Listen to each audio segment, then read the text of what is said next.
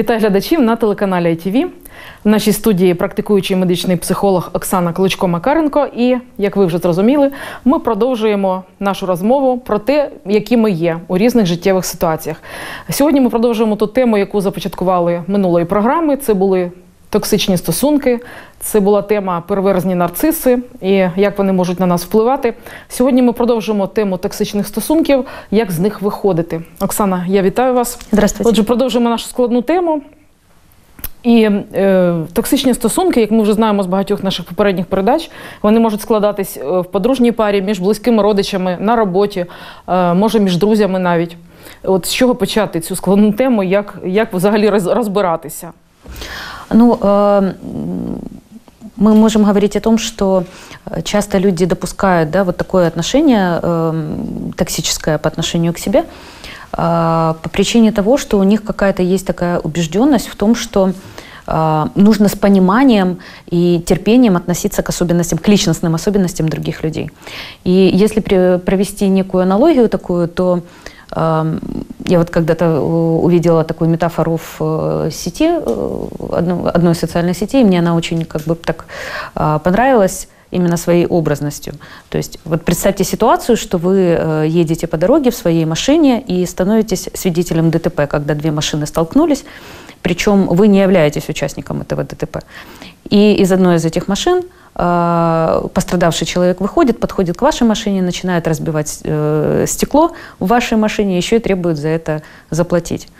Вот э, где-то э, такая же ситуация, да, она происходит обычно в жизни. То есть какой-то человек подходит и начинает на вас э, э, как бы выливать свой аффект, за, э, о- оправдывая это тем, что в его э, жизни какие-то сложные обстоятельства или, допустим, там, э, в прошлом э, его бросила э, любимая девушка, и поэтому он сейчас отыгрывается на всех женщинах, да, или вот там у него были, или у нее были какие-то сложные отношения с ее родителями, и теперь она э, потенциально ищет проблему во всех других людях.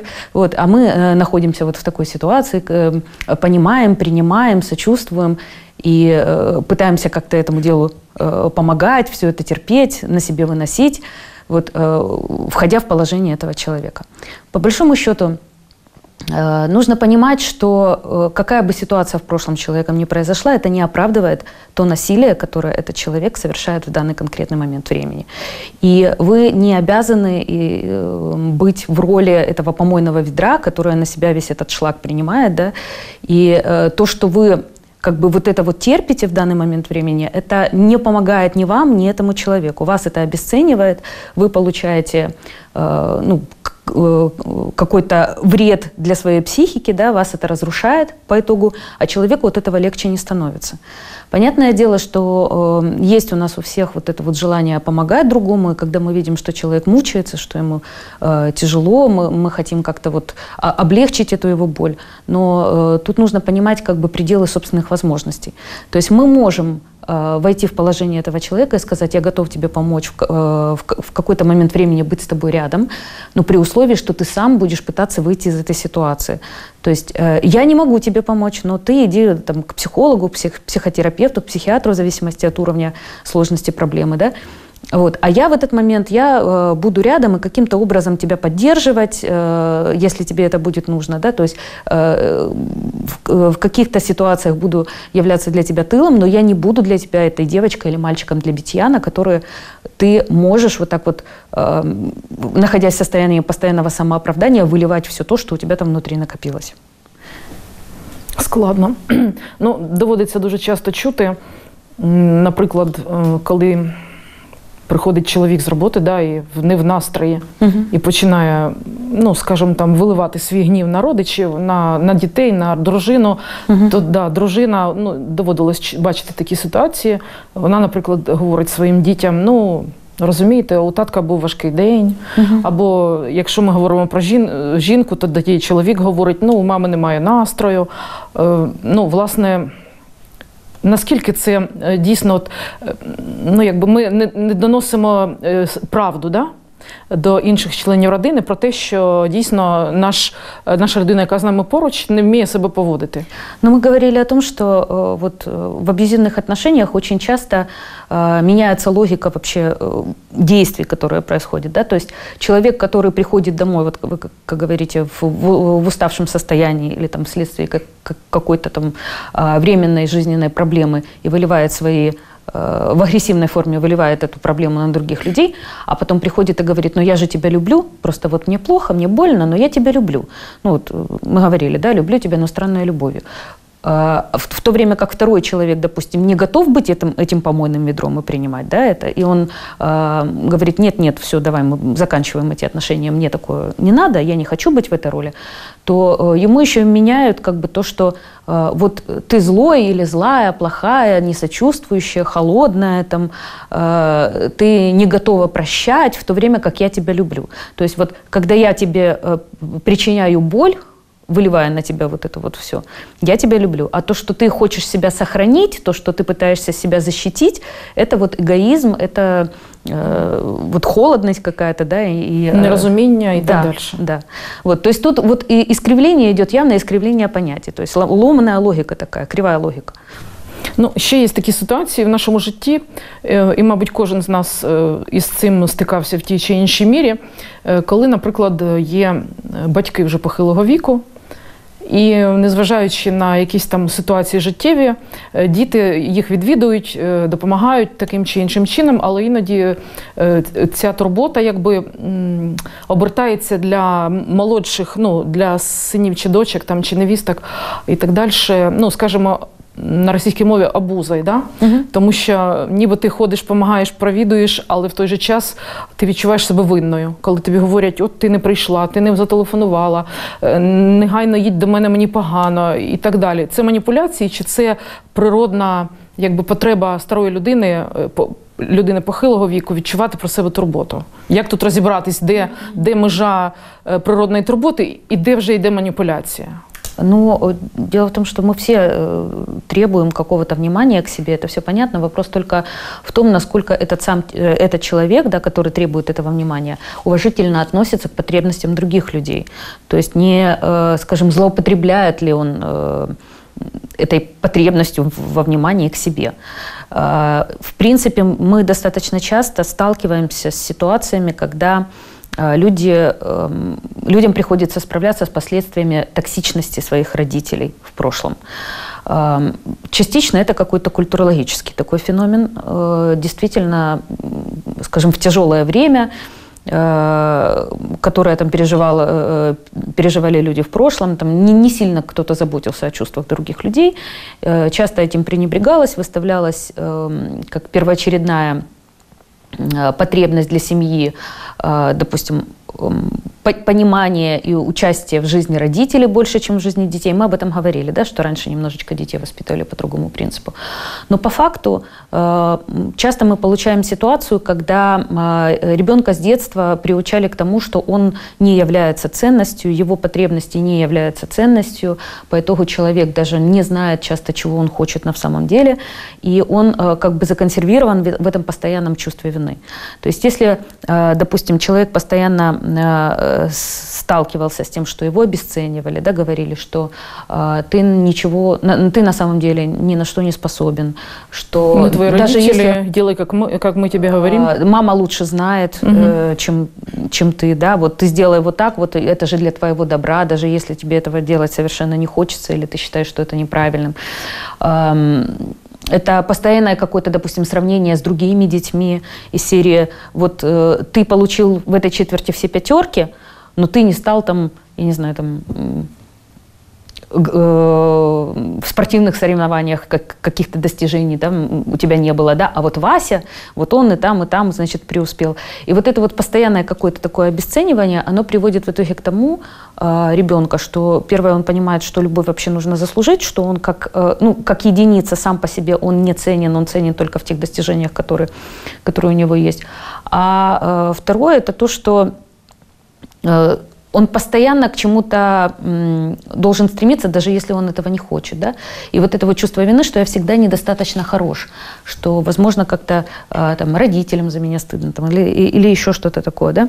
А, если мы говорим про какие-то ситуации, когда был со стороны родителей какой-то тотальный контроль, то есть когда ребенку, в принципе, не давали возможности а, что-либо выбирать, когда у него не было, там, допустим, своего пространства и, там, не знаю, эм, своих вещей, э, не было чего-то такого, Э, что принадлежало только ему, и его личные границы всегда мог э, нарушить кто угодно.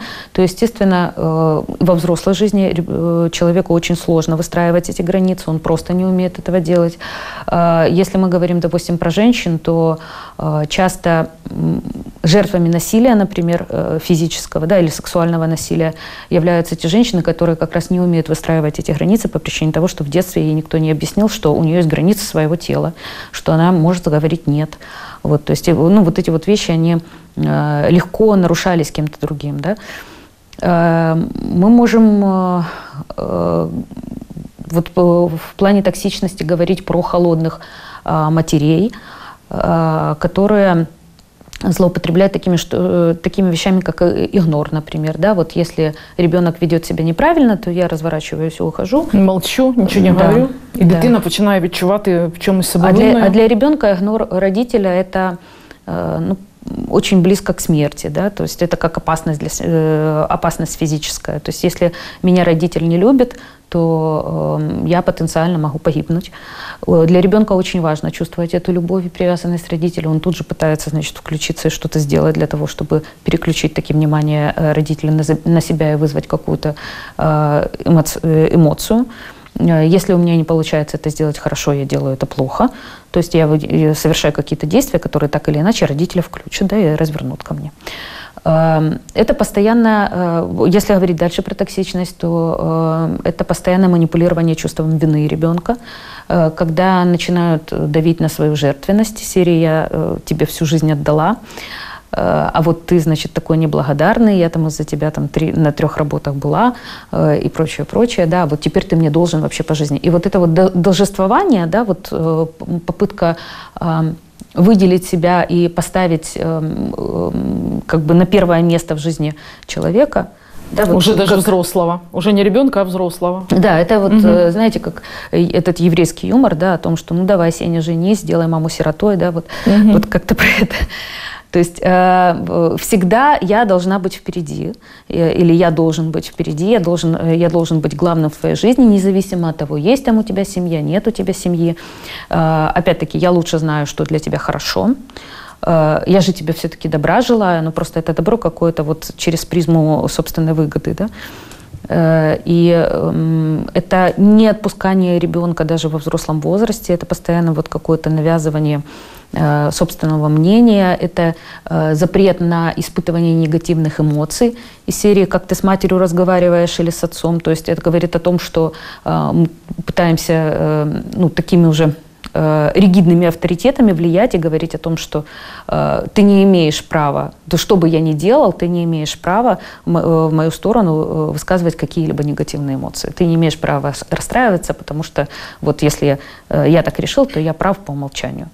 Э, это эм, также про токсичность, это какие-то ситуации с газлайтингом, которые, э, опять-таки, потом э, приводят к тому, что ребенок не понимает вообще, где правда, где ложь, и, и, вырастает, и тоже ему очень сложно понимать, когда люди говорят правду или эм, что стоит, ну вот считывать какие-то двойственность в словах и фразах других людей или в поступках, да, то есть э, человек постоянно находится в этом состоянии тревоги и путанности, он не понимает вообще часто, что происходит, потому что э, к примеру, родители могли, практиковать такую штуку, как э, непоследовательность в своих действиях. То есть сегодня мы тебе что-то запрещаем, а завтра у нас хорошее настроение, и мы тебе это разрешаем.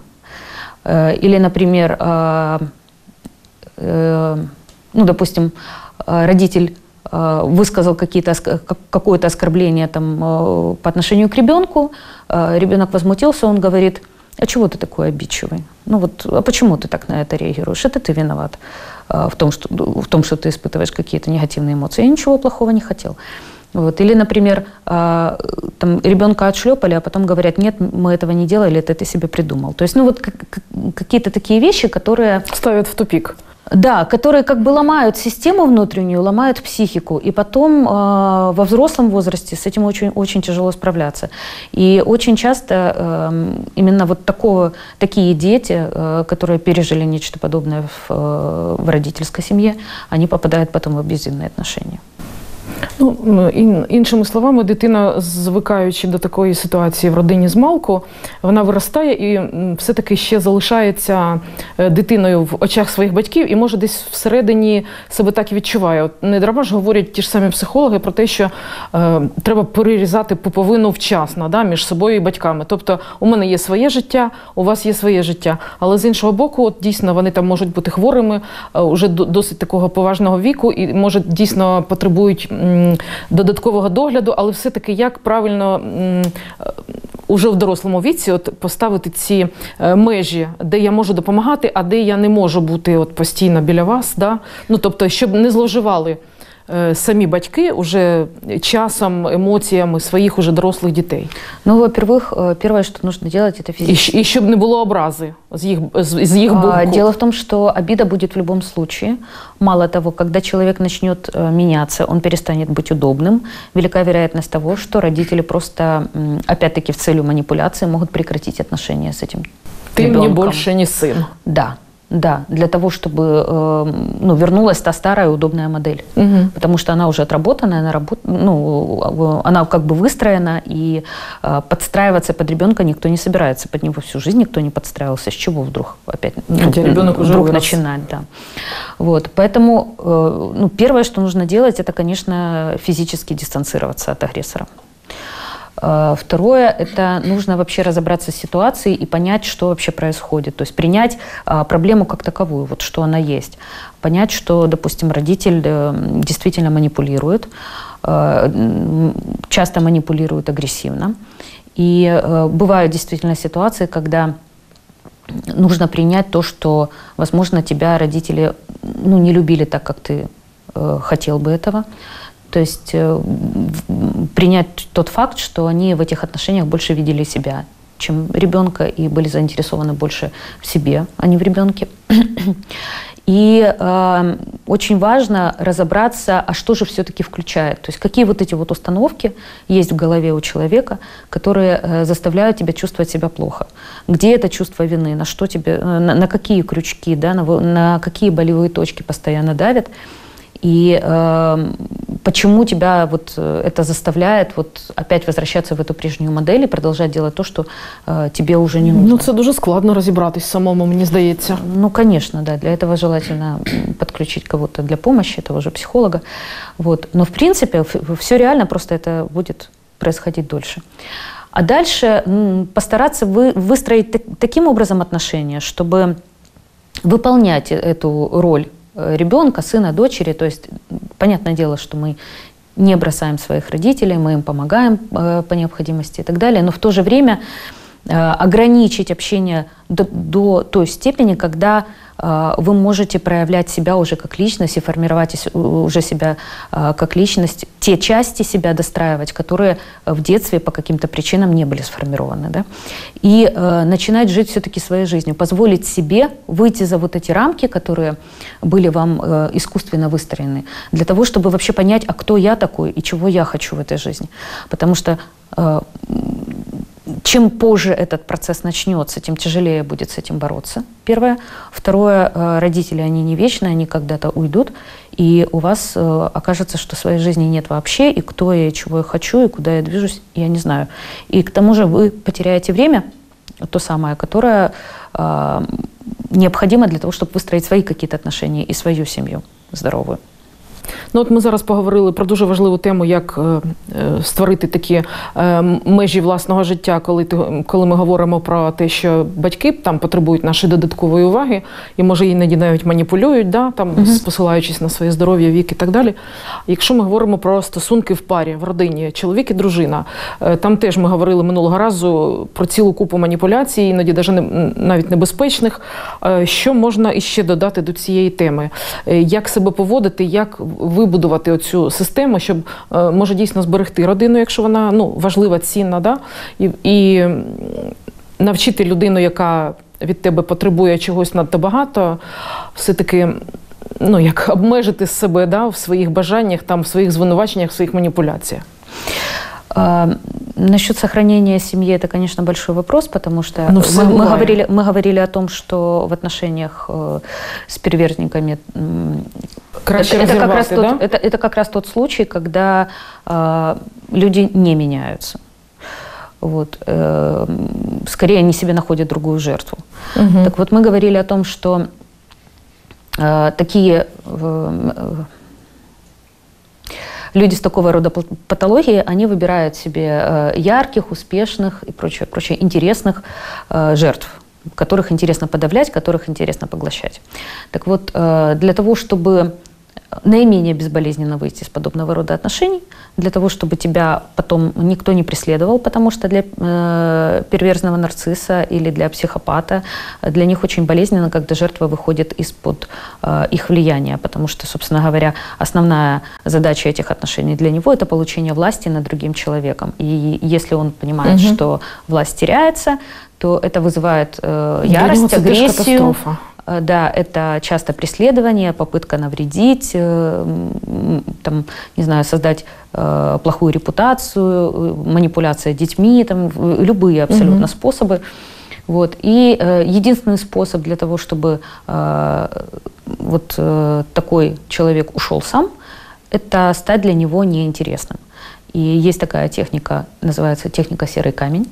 Это когда ты становишься максимально скучным. То есть создаешь э, да, созда- создаешь, собственно говоря, э, такую атмосферу вокруг себя, когда э, вот второму человеку просто становится неинтересно тебя за- завоевывать.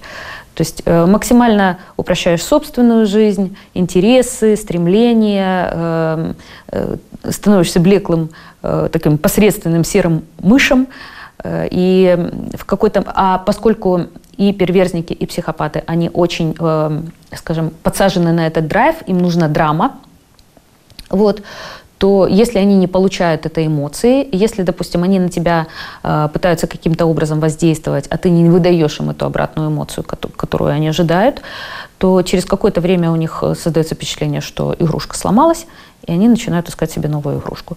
То есть тут задача максимально обесцветить на какой-то период э, времени свою собственную жизнь. И э, второе – это найти вот эти вот болевые точки, на которые психопат или э, перверзник влияет, и м, понять, почему ты на них триггеришься, почему они запускают у тебя такую сильную эмоцию, и перестать просто на это реагировать.